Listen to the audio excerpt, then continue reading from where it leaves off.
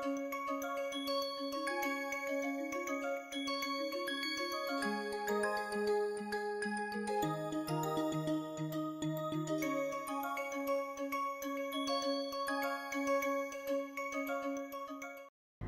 everyone.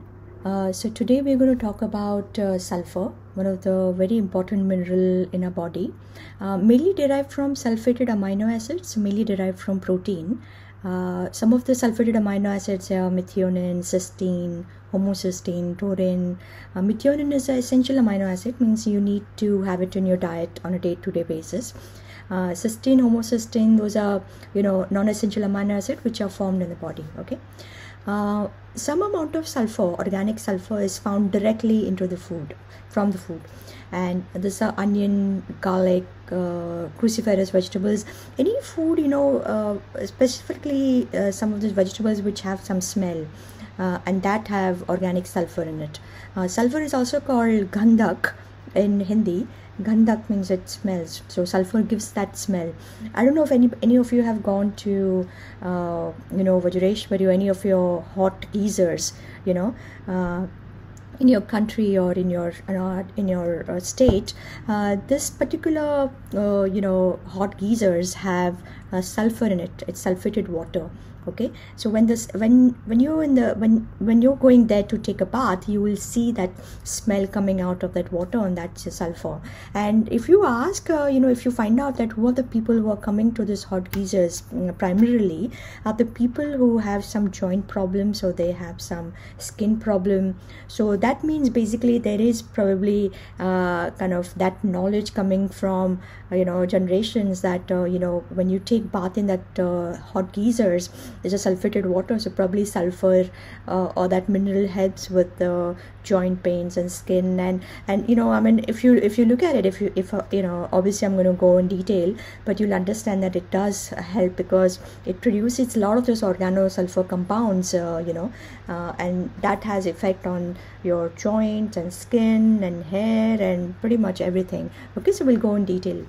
Uh, sulfur is also present in 2 vitamin b okay? So which are those two vitamin b thiamine and biotin? Now biotin if you remember a lot of people take the supplements biotin uh, for hair right? Uh, people who have hair loss they take biotin. Okay.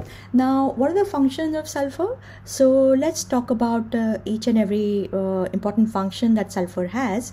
Uh, so cellular energy production and metabolism. So sulfur is important for uh, you know krebs cycle. Uh, because the acetyl CoA and CoA, uh, those compounds are uh, made from sulfur. So that's your kind of uh, some of the you know products uh, or byproducts I could say of that Krebs cycle. So it is definitely, as I said, it is important for formation of energy. You know, it gives you energy. it also maintains blood glucose level. So sulfur is important for maintaining blood glucose level. Why? Because insulin, insulin is your you know hormone which requires sulfur okay uh, sulfur also protects nerve and uh, nerve tissue. It synthesizes neurotransmitters. Neurotransmitters are important. Uh, of course as you know some of them are acetylcholine uh, you know serine uh, your uh, you know your uh, serotonin. So some of those sulfurs are ready uh, very important. Uh, it improves memory. It dampens excessive firing it has antioxidant protection, so glutathione, glutathione which scavenges or neutralizes free radicals and recycle oxidized antioxidants. So glutathione, I'm sure a lot of doctors and nutritionists who are taking this course would know what glutathione is. Uh, it's uh, it's it's basically one of the most powerful antioxidant which is present in our body, which scavenges uh, free radical.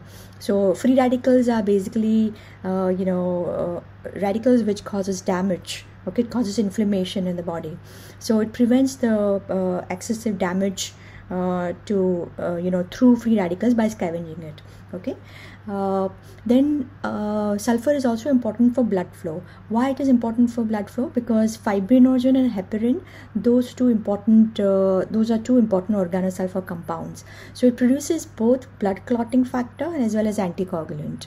Okay? Anticoagulants mean it prevents the coagulation of blood. It prevents the clotting. Okay? And blood clotting factors are basically factors which helps with the clotting. So if you have a say nick on your skin and if you're bleeding uh, basically that uh, you know uh, fibrinogen will immediately clot that bleeding. It will stop that bleeding. Okay so sulfur is required for that also. Uh, cartilage and bone so remember i told you that a lot of these people they go uh, they go to uh, hot geysers. So why? Because uh, the sulfur is important for formation of glycosaminoglycan and also chondroitin sulfate and hyaluronic acid. And they are part of cartilage and bones. Okay so to, to have your healthy bones and your cartilage your joints it's important that we take enough amount of sulfur or sulfated amino acid which is your methionine okay?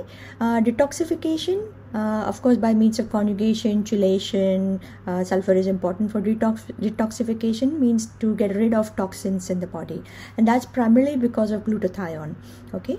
Uh, regulation of dna replication and transcription. So basically for to maintain your uh, dna you know uh, that would prevent uh, cancer actually you know? So you want to make sure that to maintain your dna health you require sulfur other effect of sulfur it, it, it, helps in digestion because it helps in production of hydrochloric acid. Now hydrochloric acid is acid which is present in your stomach okay for digestion of food.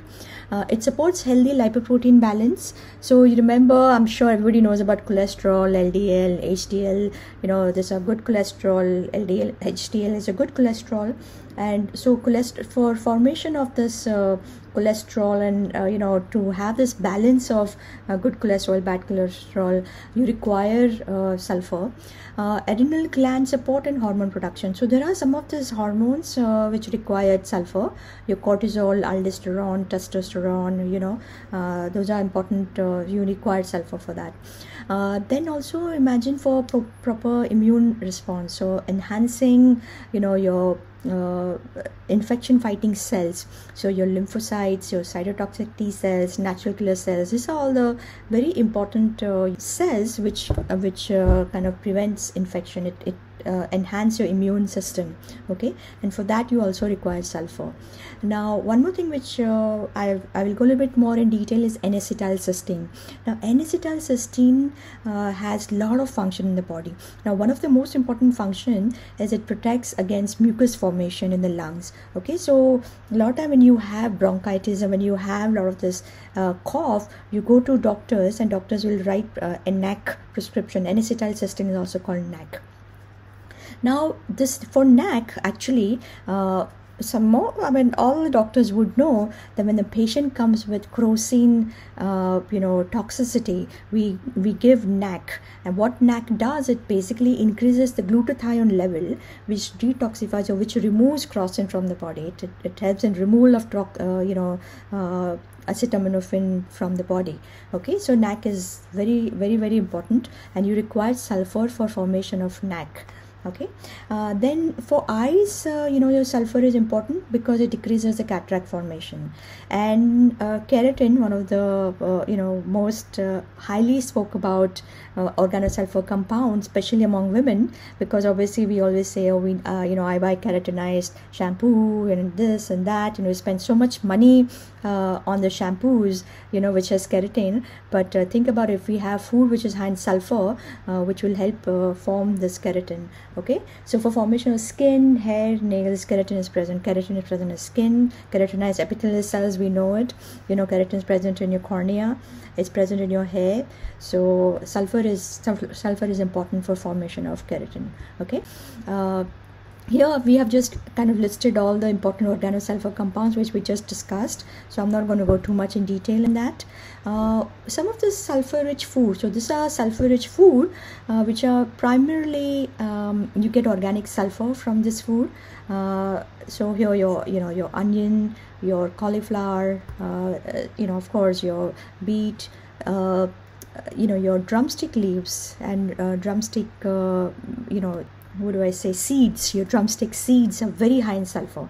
In fact you know in US we have this uh, uh, you know those drumstick seeds powder available in the capsule and a lot of people with joint problems they take it. So I do recommend that we should have this drumsticks in our diet uh, on a day-to-day basis. So you know either you can put drumstick leaves we also call moringa leaves. You know you can make a powder put moringa leaves in the in the food uh, or you can just have a drumstick uh, you know uh, uh, vegetable or you put it in a curry you put it in a, a dal that you make you know so that's how you get your sulfur okay? Some of the other uh, uh, food which you can get sulfur from is your garlic okay? Uh, your uh, your eggs uh, of course your fish okay? So this is some of the good sources. Organic sulfur directly sulfur comes from this food okay?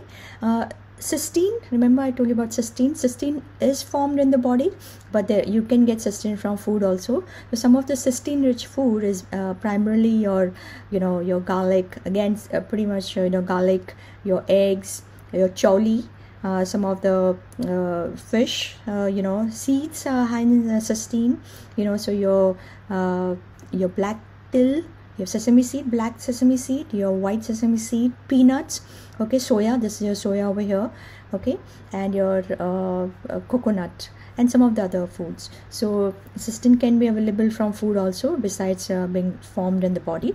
Uh, methionine is uh, another essential amino acid extremely important to have it in your diet okay. As i told you that uh, this sulfated amino acid will release sulfur that sulfur will be used in formation of all these organosulfur compound that i spoke about okay. So which are the food which are high in methionine again remember i talked about uh, peanuts. Uh, so you make pe- peanut powder put it in your food for children food also you can put uh, peanut powder.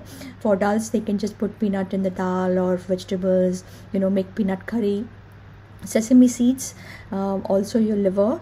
Uh, you know your uh, dairy products are very high in uh, methionine. So make sure that your children have you know after two years of age uh, you know uh, if mother wants to start the top um, milk you know uh, they can start a dairy or even young children six months to tw- uh, two years of age you can give them dahi paneer. You know this is paneer over here on um, uh, right side corner uh, lower corner. And over here this is koa koa is basically uh, kind of made from milk. You know mawa we can gujarati call it mawa koa uh, so do use koa in your curries you know very high in sulfur. Actually very high in methionine which gives out sulf- sulfur okay? And of course your non-veg food are high in sulfur uh, children who have a good amount of non-veg food we do see that they do have a good good uh, good height. And uh, what i've seen actually is uh, there is an article by dr michael golden and he's, he's written extensively about sulfur. You know and he feels that basically for your linear growth sulfated amino acids are very very important okay? And that's why i'm kind of stressing on this foods which you must give it to children you know which will help with the linear growth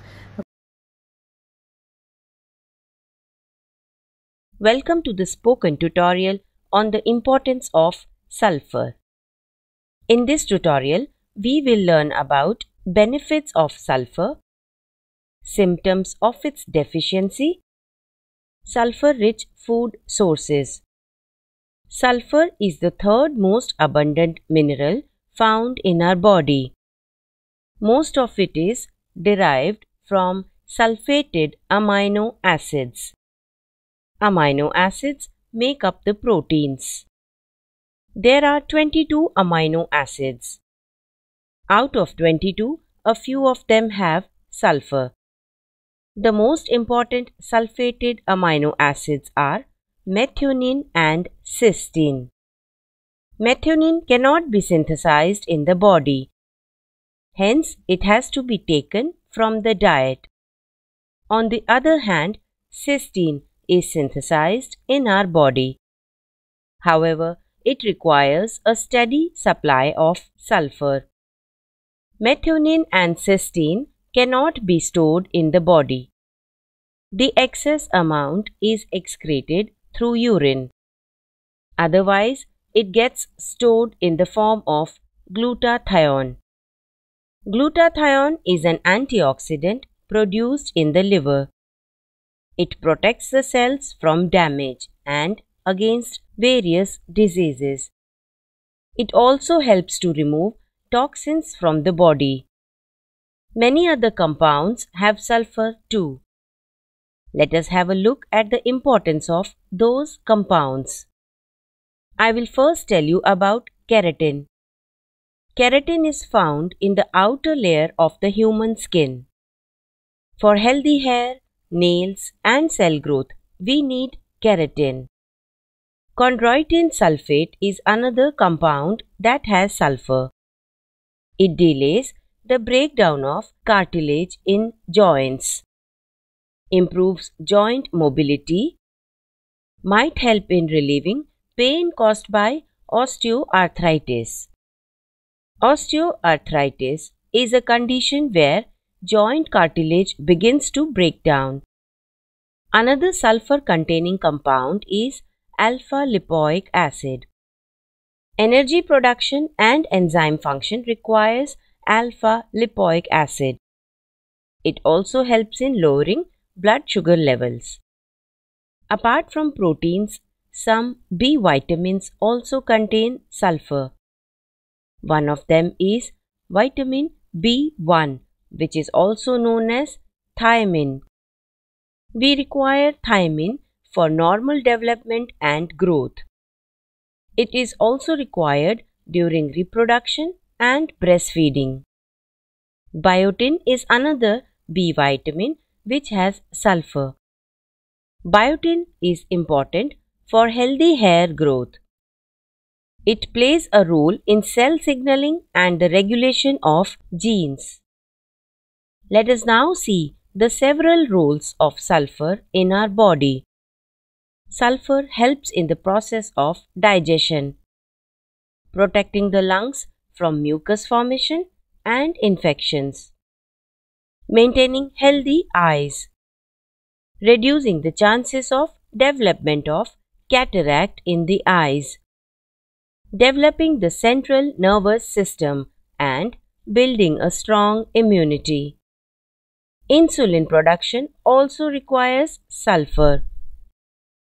Sulfur is also required during synthesis of collagen.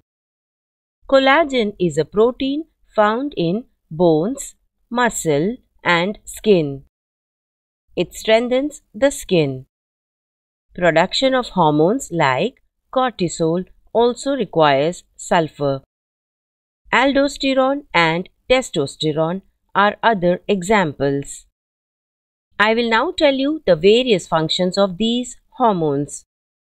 Cortisol helps to control blood sugar levels and reduces inflammation. It is also called a stress hormone. Aldosterone's main role is to regulate blood pressure. Testosterone is a male sex hormone. It helps in building bone mass and muscle density. Let us look at the symptoms of sulfur deficiency. Deficiency of sulfur causes wrinkling of skin, brittle hair and nails. Joint pain, convulsions and memory loss are also seen. Apart from this, toxins accumulate in the body. This can increase the risk of cancer. The risk of type 2 diabetes and heart diseases also increases.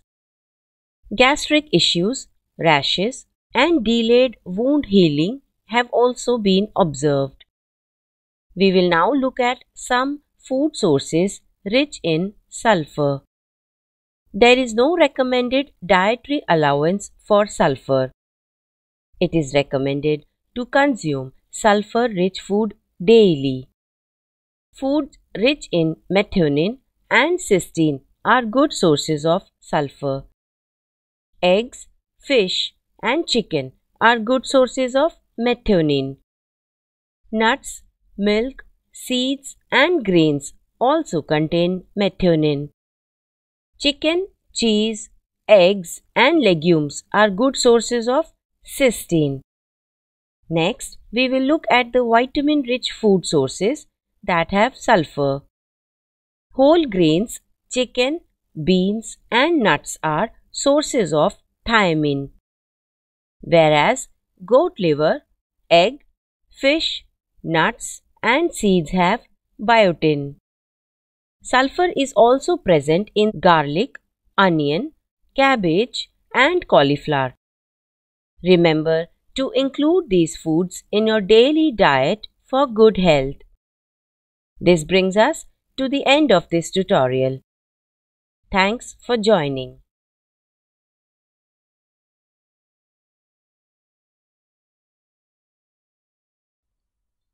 Welcome to the spoken tutorial on sulfur-rich vegetarian recipes. In this tutorial, we will learn about benefits of sulfur in our body, a few vegetarian recipes.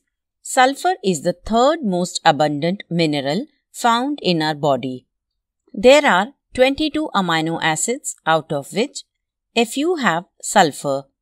It is derived from sulfated amino acids. The most important sulfated amino acids are methionine and cysteine. Sulfur helps in the process of digestion. It protects the lungs from mucus formation and infections. Developing the central nervous system also requires this mineral. It also helps in production of insulin.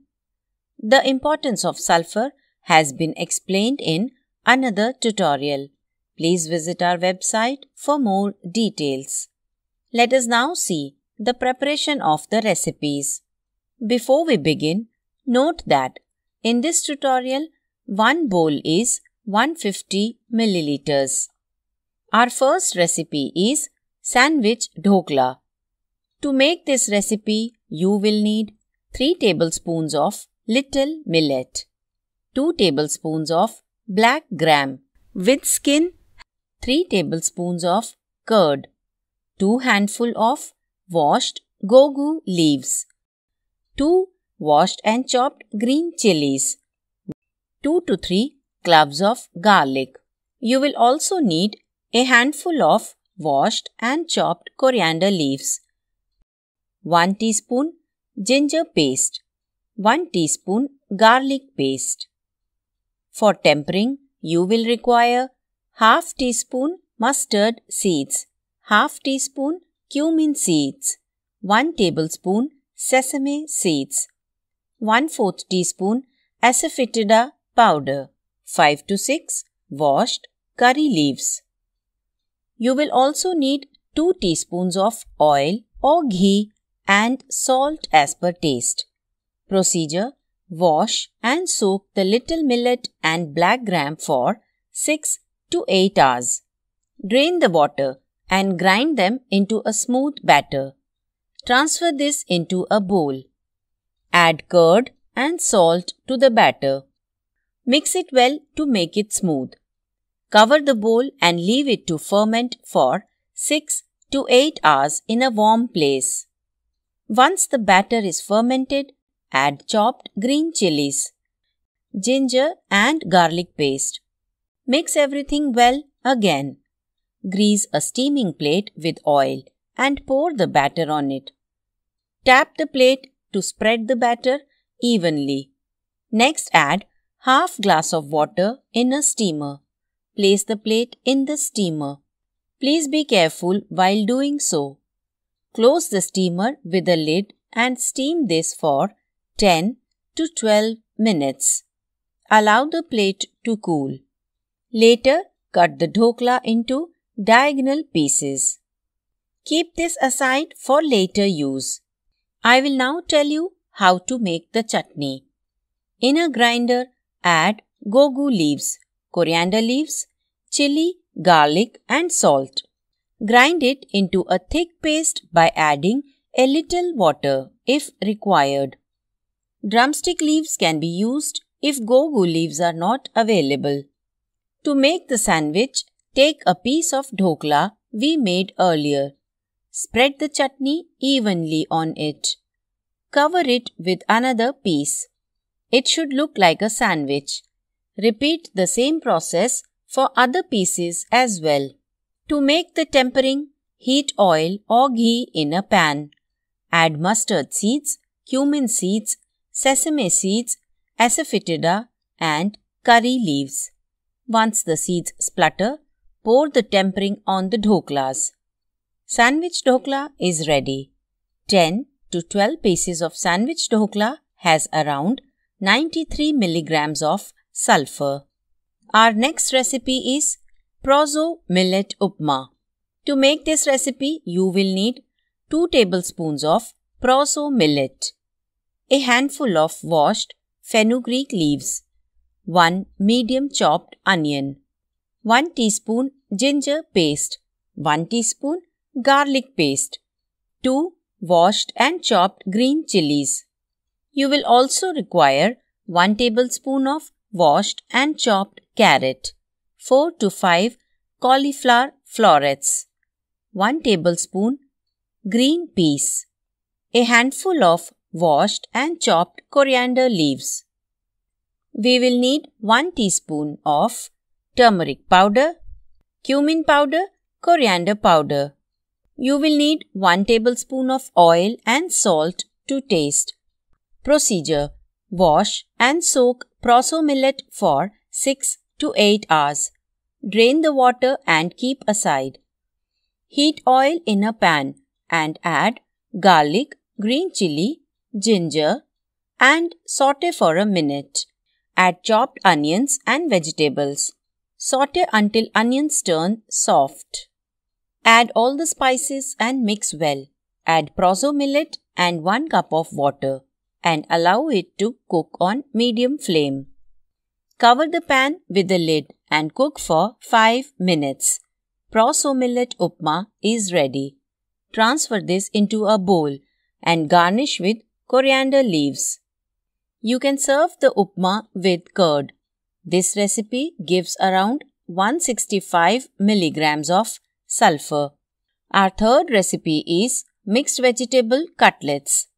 To make this recipe, you will require 2 tablespoons of barnyard millet, 2 tablespoons of little millet, 2 tablespoons of kodo millet, 2 tablespoons of roasted Bengal gram flour. You will also need a handful of washed and chopped amaranth leaves, a handful of washed and sliced cabbage, 2 tablespoons of washed and chopped carrot, 2 tablespoons of chopped onion. You will need 1 tablespoon of ginger paste, garlic paste. You will also need 1 teaspoon of turmeric powder, chili powder, coriander powder, garam masala powder, chopped green chilies. You will need 2 teaspoons of oil and salt as per taste. Procedure Soak barnyard, kodo and little millet for 6 to 8 hours. Drain them. Dry roast on a medium flame until they turn light brown in color. Allow them to cool. Transfer them into a mixer grinder and grind them into a fine powder. Keep this aside for later use. Heat oil in a pan. Add onions, ginger garlic paste and green chili. Saute until onion turns soft. Add cabbage and carrot to the pan and saute for a few minutes. Next add amaranth leaves and mix well. Add the spices and salt. Mix again and cook for 5 to 6 minutes. Allow this to cool. Add the cooked vegetables to the powder we made earlier. Now add roasted Bengal gram flour and mix everything well. Make a dough out of it by adding water little by little. Divide the dough into four parts and shape them as cutlets.